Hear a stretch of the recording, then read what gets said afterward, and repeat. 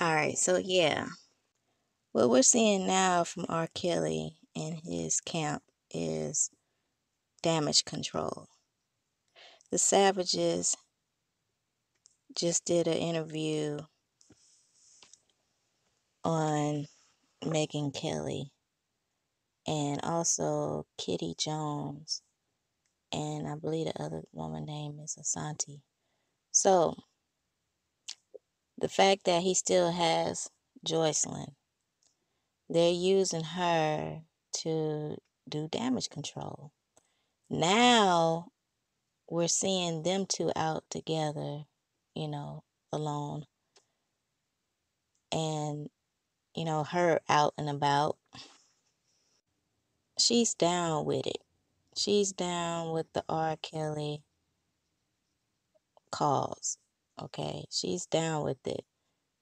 You know, she a grown woman, you know, and you know, her parents been fighting for her, but honestly, the reality is Joycelyn is down with it. And that's their business, yeah. But the thing is, you know, he's still mocking, you know, and it's still wrong in the Most High's eyes because, you know, the things that he have those women doing is making the Most High angry, which is why he's being judged in the first place.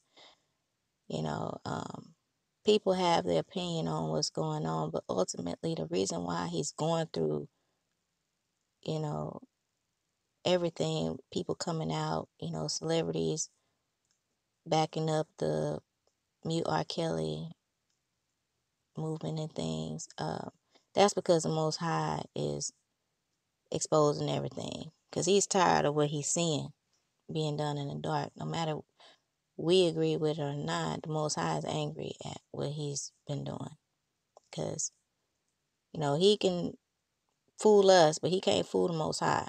And the Most High is going to judge people when they're claiming to love him and, and worshiping him, but then doing evil and wickedness. So, um, but the thing is, is where's Azriel Clary? Where's she?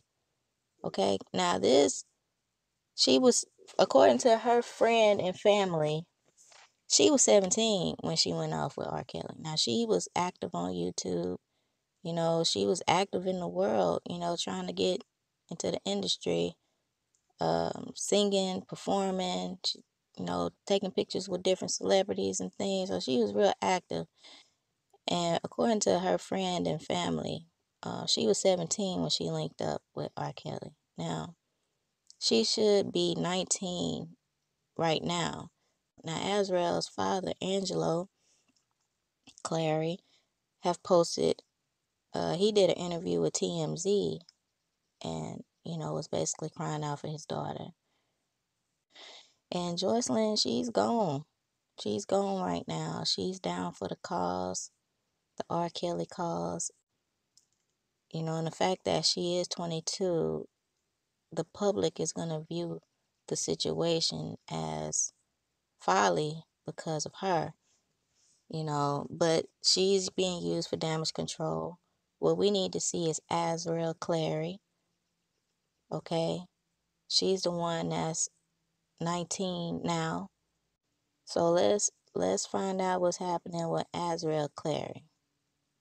If he is, you know, keeping their keeping tabs on their calls and things and not letting them communicate with their families, and it's a reason why. And yeah, there needs to be an investigation. It's a lot of stuff that came out in that BBC documentary. According to the people that were around R. Kelly, and when you look at, you know, him marrying Aaliyah when she was 15, and Jerhonda Pace, can't forget about her. She was 16. She lied about her age. Yeah, she was out there supporting him at the trial. But you, but fact of the matter is, she told him her age. She took a lot lie detector test. She was proven to be truthful, and he paid her off.